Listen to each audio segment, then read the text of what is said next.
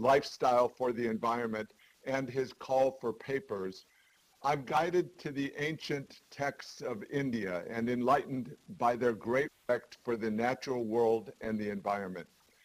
The words of the Rig Veda, the Yajurveda, and the Charak Samhita speak of trees moving pollution, uh, of not disturbing the sky, and of the importance of forests to the strength of the state.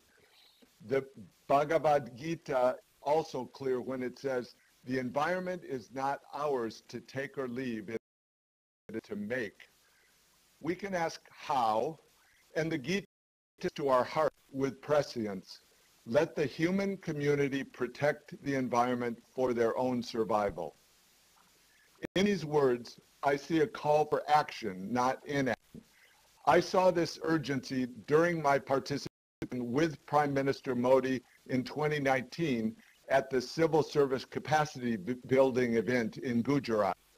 Mobilizing and empowering